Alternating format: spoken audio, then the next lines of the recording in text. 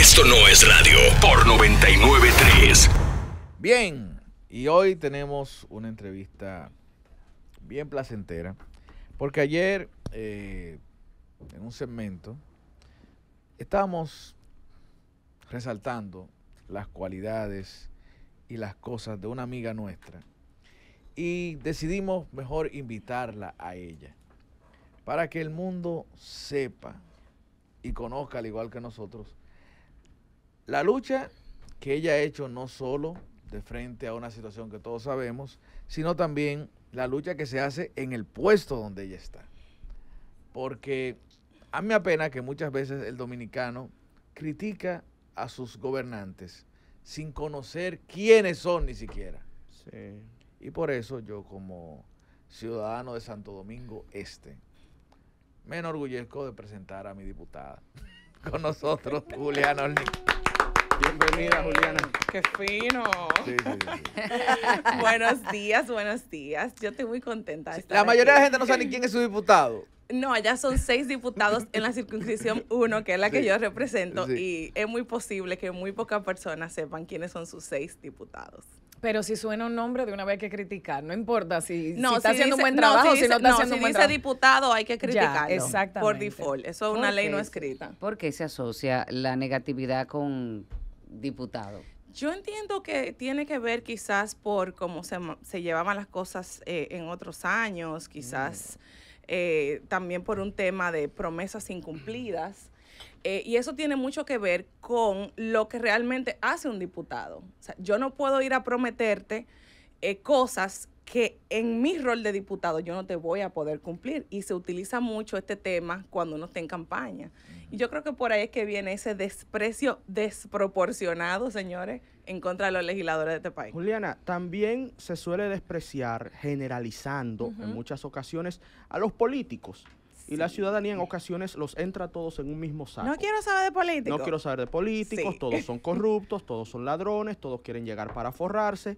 Hey, y en algunos casos es así. El asunto viene cuando se generaliza. Pasa, El asunto pasa. viene cuando se generaliza. En el caso tuyo, Juliana, que vienes de- del mundo del arte, Sí. del mundo artístico, me gustaría saber tu experiencia en la política y, primero, y qué te lleva a la lucha política siendo tú ya una estrella del merengue y del arte en República Dominicana. Mira, gracias por, por, por tu valoración. Es importante esa parte, que la gente sepa que Juliana llega a la política a raíz de la situación que me tocó vivir, situación que traté de llevar con mucha dignidad. Ustedes nunca me vieron en ningún canal eh, solicitando cosas, publicando quizás una imagen que, que denotara como que eh, victimizarme. Yo traté de llevar mi, mi proceso con mucha dignidad. Incluso tengo unos cuantos empresarios que están enemiguitos míos porque querían hacerme un concierto para recaudar fondos cosa a la que yo me negué rotundamente, porque a pesar de que había una necesidad económica, yo entendía que eso era un exceso.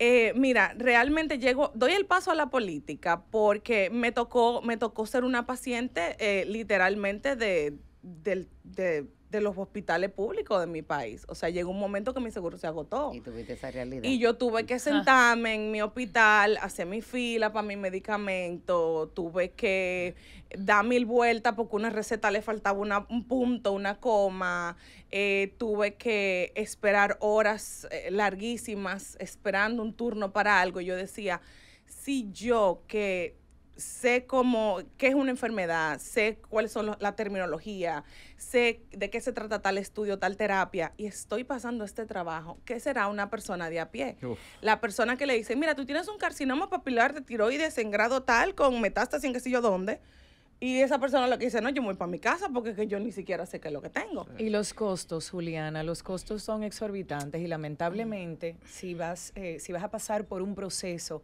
largo, si tienes que batallar, es casi imposible para una persona de escasos recursos. No, de escasos y bueno, yo puedo decir, ah, eh, y no me da vergüenza decirlo, que hasta una persona que tenga cierto estatus, cierto. acomodada económicamente, cuando a ti te dicen, tú tienes que buscar 400 mil pesos cada 21 días para una terapia. No, pero- No, eso no lo No, aguanta ah, nadie realmente. Bueno, aquí Ernesto una vez hizo un segmento que Sí, hicimos claro. de economía sobre el tema del cáncer y eso quiebra a cualquiera. A cualquiera, Claro, es a, cierto. la- a una A familia cualquiera. Pero imagínate tú, una persona, bueno, hace unos a meses cualquiera. yo hice una venta de closet eh, para una señora eh, de un barrio eh, al que yo me he apegado bastante, ayudo a algunas personas de ahí. Lamentablemente a la señora ya le, le ha regresado el cáncer en varias ocasiones y esta vez también. Y cuando ella me mandó las recetas y cuando ella me mandó todo lo que ella tenía que hacer, también trasladarse de San Francisco de Macorís a Santiago cada vez que iban a hacer cualquier cosa con ella, porque en San Francisco no se podía. Y yo hasta me puse a llorar, yo dije, no, pero ¿Y cómo? eh, ni mi limpieza de closet va a poder ¿Y con cómo? esto. Y muchísima gente eh, se inspiró y, y me ayudó. Y pudimos recaudar una cantidad eh, más o menos, tú sabes, por lo menos exactamente considerable para que ella pudiera por par de meses cumplir con todo eso. Y luego la vi los otros días y yo dije, Dios mío, Dulce, vamos a tener que hacer otro, porque eso tiene que continuar. Y lamentablemente, o sea, cuando tú sabes que una persona gana 15 mil pesos mensuales, Eso es 10 una tomografía, para los que no lo saben. O sea, eso es una inmunohistoquímica. Eso cuando te, te hacen una, eh, te quitan un pedacito del tumor para examinarlo y ver a Una qué biopsia. químicos Sí, eh, eh, responde, va a responder ese cáncer. O sea, qué lo afecta, qué lo destruye. Eso cuesta, digamos, 15, 20 mil pesos. Juliana, eso solo. Hay, hay una inyección también, perdón, hay algo que... Hay la Herceptin que yo me la ponía. Cuando yo me la ponía costaba 115 mil pesos cada 21 días. Imagínate tú. Pero eso, eh, aparte de la quimioterapia, pero esos son los temas de los que la gente dice que yo vivo hablando de eso. Y son temas que hay que hablarlo, Claro. porque Claro la que gente sí. tiene que saber claro. para poder exigir y para poder hacer uso de las herramientas que el Estado nos da, que no son las mejores, que no son muchísimas, pero uno tiene que buscar de donde no hay. Y por eso insisto tanto, porque hay personas que tú le dices ahora mismo, no, porque si tú te tienes que poner tal inyección y tú solicitas por aquí, ay, ¿qué es eso? O sea, no saben. La gente no sabe y es difícil y es doloroso tú ver cómo se pierden vidas, a veces hasta por desinformación. Entonces, todo esto que estamos hablando es lo que me lleva a la política. Por eso doy el paso por una causa real, por una causa or- orgánica, genuina. Algo que me mueve, algo que he vivido y no voy a negar que no ha sido fácil. No ha sido fácil por esto de que todos son iguales, todos van a, a no sé qué. Señores, yo llegué a la política con, con mi equipaje social encima. Yo, soy, yo, yo pertenezco a un voluntariado que Joni también pertenece, aparte de eso, obras sociales que uno hace. Eh, o sea, 15 años de carrera, yo he estudiado, pero la gente no se fija en eso. La gente se fija, diputados aprueban tal cosa. Pero yo les apuesto que esas personas nunca han buscado una hoja, de, un acta de votación para decir, ah, pero mira, Juliana no votó, fulano no votó, fulano no votó. Entonces, es un poco injusto a veces eh, el Sí, trato que se nos. No, dispensa. y, por ejemplo, solamente nos llega la noticia de que se aprobó tal préstamo, pero Sí. ¿qué otras cosas se hacen? ¿Qué otras cosas dentro? se hacen? Por ejemplo, yo cuando hablaba contigo ayer te decía, me, me encantaría que tú nos digas los proye- otros proyectos donde tú has trabajado. Bueno, mira, el, el tema de los legisladores es complicado, porque nosotros somos como lo más cercano que la gente tiene a, a un, a un- a un poder del Estado, obviamente, ¿no? Entonces, ¿qué pasa? La gente entiende que el diputado tiene que comprar receta, pintarle la casa, ponerle el zinc a la casa, que el diputado tiene que darle dinero para el carro, pagarle la renta. Eso no son funciones de un diputado. El diputado no arregla calle, el diputado no recoge basura, el diputado no está para pintarte la cancha, ni para comprarte los utensilios. Pero lo hacen. hay una Sí, realidad hacen. social que lamentablemente no podemos darle la espalda. Exacto. El diputado está para representar, para fiscalizar y para legislar. Legislar, hacer leyes. Fiscalizar, por ejemplo, brevemente, el 8, ¿a cómo estamos hoy?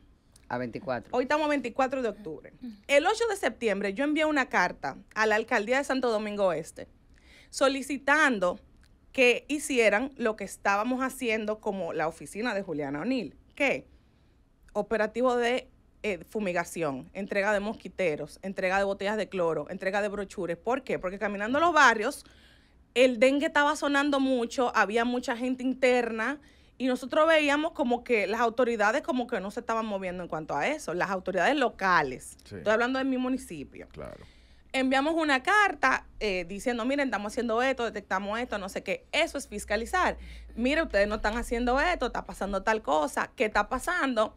Eso fue el 8 de septiembre, estamos 24 de octubre. Ya vemos todo lo que ha ocurrido. Y lamentablemente no se vio una acción contundente. Entonces, otra cosa, representación. Hay un problema en tu barrio, hay una situación en tu municipio. La Junta de Vecinos viene, las organizaciones vienen, la llevamos a, la- a los estamentos del Estado, eh, lo llevamos a, a la alcaldía eh, o, o tratamos de llamar eh, a alguien que pueda ayudar. Pero nosotros no estamos para la cosa que la gente entiende que, que- que estamos. Y es difícil. Pero tú no trabajas, tú no haces nada, pero tú sabes realmente cuál es mi papel. Exacto. Y ahí es que viene el tema, el desconocimiento. La gente no sabe quiénes son sus representantes. Hay gente que ni siquiera sabe quiénes son sus regidores. Entonces, por eso es difícil, porque somos un país presidencialista. Cuando vamos a las elecciones es para votar por este o por este o por este. Sí. Pero no nos preocupamos quizá por otras áreas y es muy importante. Nosotros a nivel legislativo tenemos un trabajo muy chulo. Eh, algo que hemos estado insistiendo en estos días es el tema de las estadísticas de cáncer en el país Hmm. no tenemos estadísticas eh, universales, concluyentes. Cada centro hace su, sus estadísticas Estadísticas. por la gente que los visita, Están segregadas. Pero no tenemos una estadística real de la República Dominicana que Salud sea... pública no lleva control. No, tiene, No hay un... Incluso uno de nuestros proyectos es solicitando que se ponga en marcha una unidad que se creó para eso, que se puso en pausa por la pandemia y que actualmente no... Si, han, si, si está en funcionamiento, estamos esperando los resultados hace dos años. Juliana, nosotros no queríamos imaginar ni siquiera lo que pasó con esas personas con, con la situación del cáncer durante la pandemia. Es como si se obvió eso. Todas las enfermedades se pusieron en pausa. Todas. Sí, y sí. todas las que estaban ya mejor, eh, eh, eh, eso fue horrible. atrás. Gente hizo metástasis, mucha gente, mucha gente lamentablemente se vio muy afectada y muchos perdieron la vida y, y, y- y da pena de que no hubiese quizás eh, un stock de medicamentos o que no se hiciera eh, un, un programa, un protocolo especial para que esa persona tuvieran acceso al médico. Pero como eso no da view, eso no da like, eso no, Sí, claro. la gente no lo, no Mira, lo Juliana. Pero cuesta habla. muchas vidas. Sí, lamentablemente. muchas vidas. Eh, mucha gente no sabe que este mes es el mes de la prevención del cáncer de mama. Y es importante el tema prevención en cuanto al cáncer porque distintos tipos de cáncer, ya cuando llegan a la etapa metastásica, es poco lo que se puede hacer. Varía, de, varía del tipo de cáncer al tipo de cáncer. mismo es, lamentablemente. Las estadísticas, aunque mal recabadas, son de todas maneras espantosas. Más de 1.500 mujeres dominicanas mueren en promedio cada año por, por cáncer de mama. Y una de las principales razones es que más del 65% llegan ya en estado de gravedad. Muy tarde. Cuando ya llega la atención médica en República Dominicana, más del 65% es Por el tarde. tema de prevención. De ahí no la importancia de figuras como Juliana. Por eso la valoración que yo particularmente le tengo. Porque a mí me tocó durante la pandemia acompañar a mi papá en su proceso de cáncer de páncreas, que lamentablemente hizo metástasis en el hígado. Era una sentencia de muerte, lo sabíamos, pero con fe en Dios se luchó hasta el final. Dios terminó decidiendo que su ciclo vital se había agotado. Lo aceptamos con humildad y con confianza en el Creador. Ahora, en el caso de Juliana, gracias a Dios, es una sobreviviente Varias veces. Porque era lo que varias decíamos veces. ayer. Entonces, por eso yo te hacía la pregunta, Juliana, y, y en parte porque sé, eh, por conversaciones nuestras, más o menos tus razones, pero me gusta y quería hacerlo para que se lo dijeras a la gente. Lo que te lleva al servicio público de manera sincera en una comunidad como la comunidad política que está tan desacreditada ante nuestro pueblo. No, y no solamente eso, eh, decirle a la gente algo que es muy importante. En el año que, que fuimos electa, que fue el 2020, se dio un fenómeno que yo creo que pocas veces se dio. Y es que más de una figura del arte y la comunicación fueron electos a cargos, eh, o sea, a cargos electivos, valga la redundancia. O sea, la gente en ese momento decidió darle el voto de confianza a personas de fuera de la política para que les representaran. Outsiders. Ahí es outsiders. No siempre sale bien eso. Que eso, eso se da muy poco. Fuimos cuatro. Estuvo el Torito, estuvo Betty, eh, El el, Boli. boli, El boli también fue ahí, sí. y, y nuestra persona. Y te puedo decir que realmente eh, eh, fue difícil al principio. O sea, la cantante, fulana baila, fulano canta y fulano presenta. O sea, no, no, no, no decía- El Y, combo y del te Congreso. aseguro que ahora, posiblemente ahora en febrero serán como 10. Ujú. Será más, sí. Sí, Serán ¿tú más, crees? serán Sí. más, sí. No, y han estado quedando. eh, a- ayer, justamente, Ariel, hablando de, de Juliana aquí, yo recuerdo en una ocasión que Juliana me comentó de una situación de, de hasta pararte de la cama para ir al baño, lo que le cuesta a una persona que está atravesando por esta enfermedad y cómo eh, tu familia ha estado contigo. Sí. Y mencionabas también, Juliana, de estar en un hospital de repente ahí, porque lo que menos necesita una persona que está atravesando por esto es estrés. Y es todo lo contrario, o sea, a veces la persona está pasando por esto. Sí. De los recuerdos más fuertes, así que, que tú puedas mencionarnos que, que pasaste. Ay, Dios mío. Eh, cuando a mí me dijeron cuánto iban a costar mi... ¡Ay! Cuando a mí me dijeron cuánto iban a costar mis quimioterapias. De verdad. Porque yo decía, bueno, yo soy una figura pública, yo tengo mis ahorros, yo más o menos puedo, eh, tengo un seguro de 2 millones de pesos. Pero cuando yo me senté, que el doctor me pasa la lista de los medicamentos, yo le digo, está bien, eh, mando a cotizar. Y cuando me llega la cotización, yo le digo, ok, pero no es tanto porque me imagino que esto es el costo del tratamiento completo. Él me dice, no, eso es mensual. ¿Qué? Eso es cada 21 días y eso es cada 21 días sin incluir los medicamentos que te tienes que tomar en tu casa, sin incluir lo que viene después de las quimioterapias, sin incluir los honorarios médicos, porque los médicos cobran cada vez que tú te das una quimio, ellos ir a mezclar los medicamentos, a dar las indicaciones, eh, a, a canalizar, todo eso tiene un costo. Entonces, o sea, en ese momento yo me puse a llorar y mi, y- y mi mamá me agarró de la pierna y me dijo, tranquila, que lo que hay que vender se vende, me dijo. Lo que hay que hacer se va a hacer. Y yo, vamos. Yo te quería preguntar eso precisamente. Eh, yo conozco una persona que, que luchó, que sobrevivió y lo tuvo que hacer en dos ocasiones y esa persona cambió su vida completamente. O sea, obviamente eso causa un efecto en ti y Sí. causa un efecto a tu alrededor y hasta en tus intereses, hasta tu personalidad. Hasta Porque cómo ves la vida. cambia. Exactamente. Eso Entonces, sí. eso te quería preguntar. Una persona como sobreviviente y una persona que ha tenido que batallar en varias ocasiones, ¿qué causa eso en ti emocionalmente? Em, ¿Te da miedo, te da inseguridad de que pueda volver a pasar? ¿O, o cómo enfrentas tu día a día? ¿Cómo eso te hace sentir lo que tú has vivido? Qué bueno Bueno. que Elizabeth te pregunte eso, Juliana, porque también lo que ella dice de cambiar la perspectiva de lo que era importante Sí, pasa a ser otra cosa. definitivamente, definitivamente. O sea, eh, eh, mi familia es mi todo, mi mamá es mi todo. O sea, eh, es un tema de... eh, eh, yo- o sea, yo no tengo palabras para expresar lo que significa mi mamá para mí. Y discutimos y tenemos una personalidad a las dos, porque ella, incluso ahora en esto de la política, mi hija, tú no necesitas que te estén atacando, tú no necesitas que te, tú no tienes necesita- necesitas estar pasando esto, deja eso. Yo, mami, es que si los que tenemos la, la, la voluntad real, lo que de verdad tenemos el móvil para esto, no nos involucramos, ¿qué va a ser en el futuro? ¿Qué va a pasar?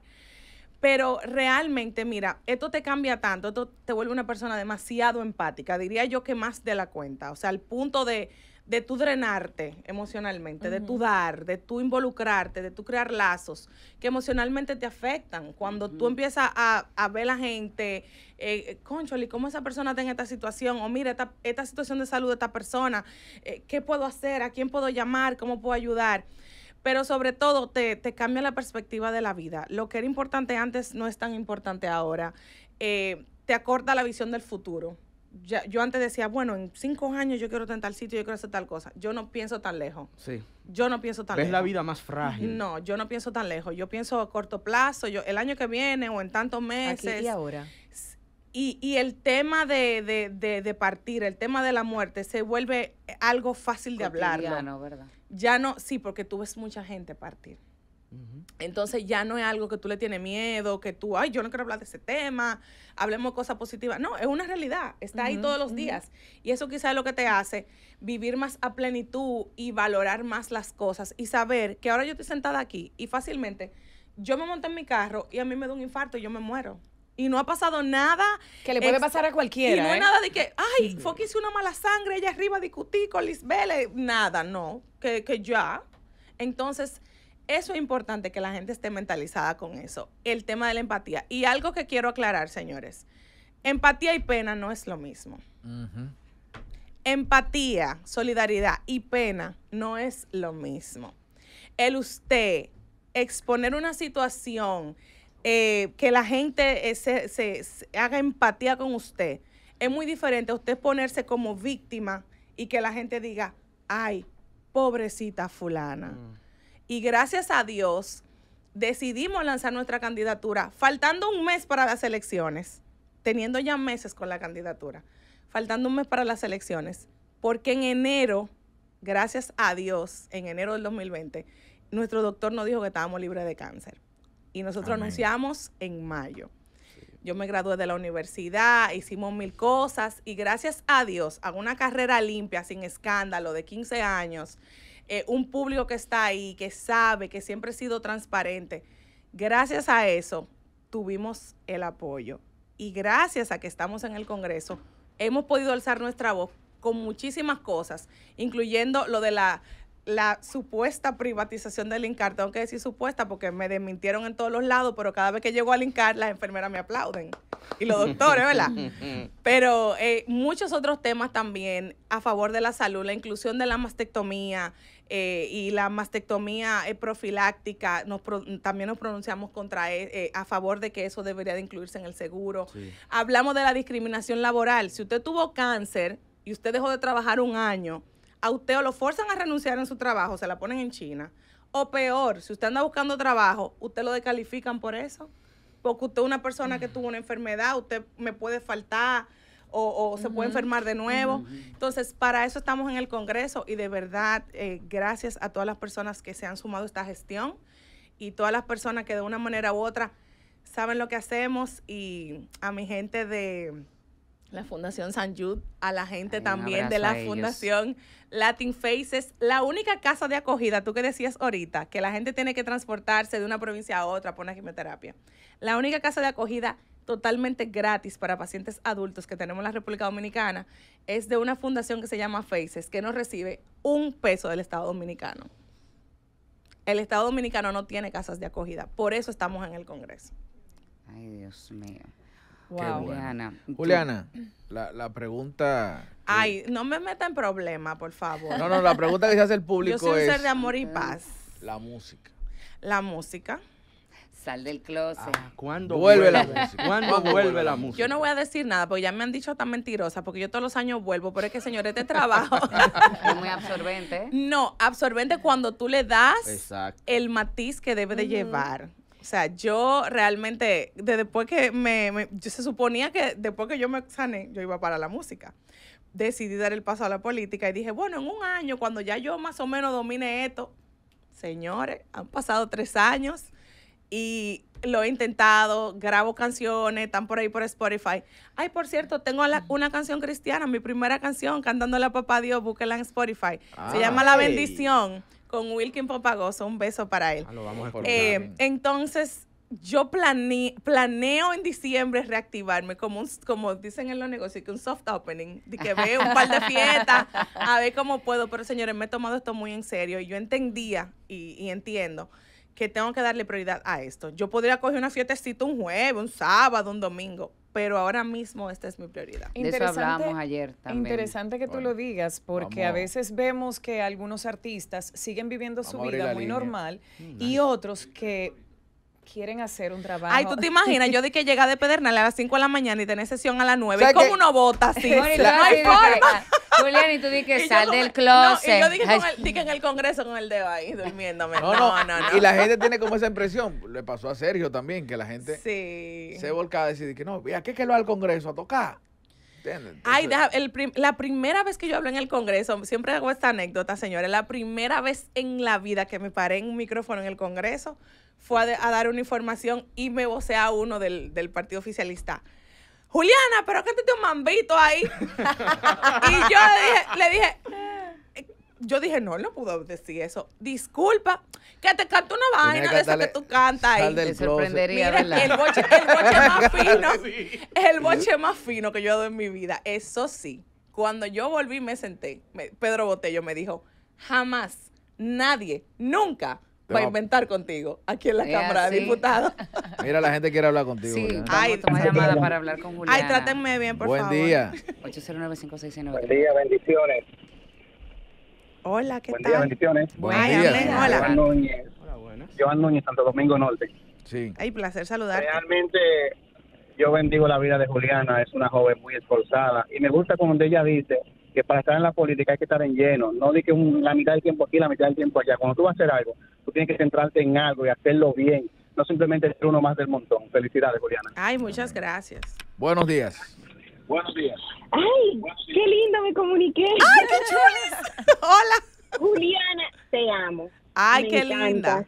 Gracias en nombre de todas las personas que, que han luchado por el, contra esta enfermedad, contra este monstruo, que eres una voz para todos. Ay, Eh, ¿Cuál es tu nombre? Nadia, ¿De dónde tú eres? de Santo Domingo. Ah, ok. Un beso para ti. Santo Domingo Este, yo voté por ti. Ay, vas a votar de nuevo por mí porque me voy a Y reelegir. voy a volver a, votar, y voy a, volver a votar por ti. Gracias. Nadia. Un beso. Buenos días. Buenos días, el único hombre que llora escuchando a Juliana. Y oye, las canciones también me gustan, el único hombre que le gustan las canciones de mujeres de Juliana específicamente. Ay, y deja que, y deja que, y deja que tú escuches lo que estamos grabando, porque yo no subo muchas cosas, pero estamos grabando muchas cosas chulas. Buenos días. Buenos días. Buenos días, equipo. Buenas.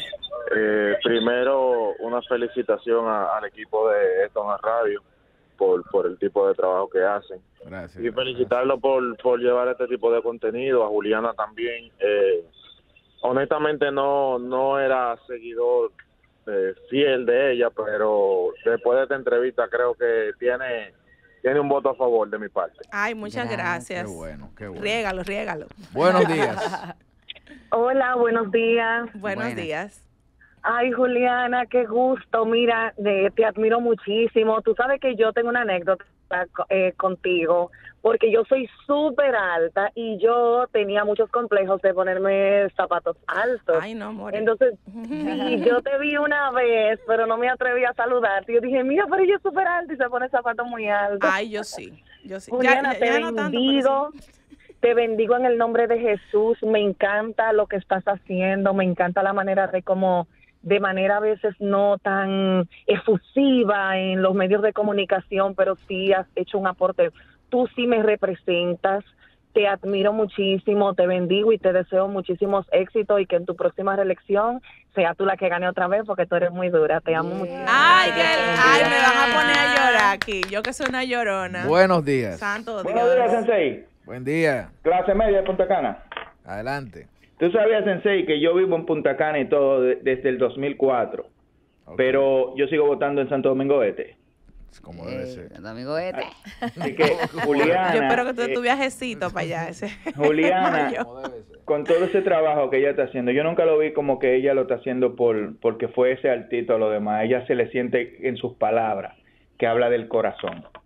Ay, y eso es gracias. eso cuando eso se siente automáticamente da la confianza. Muchas eso da gracias. mucha confianza. Muchas gracias. Un abrazo para Te ti. quiero mucho Juliana y amo a Elizabeth. Ella lo sabe. Ay, mi amor, gracias. Un Te pegó tu abrazo. colita. con la- con- está lleno, pero vamos con la última. Hello. Buenos días. Ay, qué alegría. qué Tú ves qué alegría, chulis. Hola. Ay, buenos días. Ay, Dios mío, estoy muy emocionada. Estamos. Yo estoy muy emocionada también. Bueno, mira, yo vivo am, Distrito Nacional, ¿verdad? Porque con este show de, de, de las divisiones de las provincias y cosas, no tengo bien claro exactamente en qué pie estoy parada. Atención, la Junta. Pero eh, eh, te sigo desde hace mucho tiempo, me encantas. Cuando supe lo de tu proceso, me quebré porque tengo un familiar que está pasando prácticamente por lo mismo. Pero gracias a Dios y al apoyo de, su- de nosotros como familia, él ha podido echar a- adelante, ¿verdad? como tú, que no, no ha dado de qué hablar, ni, ni, ni ha pedido ayuda, ni nada, y todo ha sido por obra y gracia del Espíritu Santo. Dios, ah, ah, exacto. Entonces, eh, mi deseo para ti es mucha vida, mucha salud y sobre todo mucha sabiduría para poder enfrentarte a esos buitres que están ahí adentro en ese hemiciclo. Porque nosotros, el pueblo, nada más vemos lo que le permiten ver por televisión en algunos cortos, pero lo que están ahí adentro eh, lo que quieren hacer el trabajo bien, saben a lo que se están enfrentando. Que tenga mucha suerte en tu proceso de, de reelección. Gracias. Y nada, un beso para todos en la cabina. Ay, Dios mío, yo estoy emocionada. Muchísimas gracias. Ay, Dios mío. Muchísimas gracias a ti, Juliana. Señores, síganme en las redes, arroba mambo de Juliana. Me han dicho de todo, que los políticos no se ríen, que ese nombre de que mambo de Juliana, que tú eres diputada. Juliana, Y ponte los cabellos y se va a acabar el lacios. mambo. Ay, Ponte los cabellos lacios, que claro una que no. diputada no puede andar así, señores, no está para representar. Señores, de y verdad. ustedes que me están escuchando, empiecen a fiscalizar a, a las personas que lo gobiernan y a las personas, a sus diputados, a sus regidores. Empiecen a solicitar la información, pregúntenle qué están haciendo por ustedes. Y en el caso de la Cámara de Diputados, tenemos un sistema que se llama SIL, que es el Sistema de Información Legislativo. Entre ahí, busque su diputado, vea cuántas veces a la semana va, vea por qué cosas se está votando, vea qué proyecto que faltan, depositado. Faltan mucho, Juliana. Estamos hablando del café, por ejemplo. Mira. Juliana, antes de que nos vayamos, te, te quería comentar, y qué bueno, me alegra muchísimo, que no pierdas tu esencia, que no. sigas con tu cabello como te dé tu gana de Ay, no, llevarlo. es que eso no me hace menos tu- nada, pero ven acá. Exactamente. ¿Sabes qué? Algo que yo quisiera destacar, y te lo digo a ti ya, ya que estás aquí, porque, porque viene al caso, que a mí me ha gustado mucho en estos tres años, sí he visto una diferencia y ha sido que muchas personas como tú se han mantenido como son.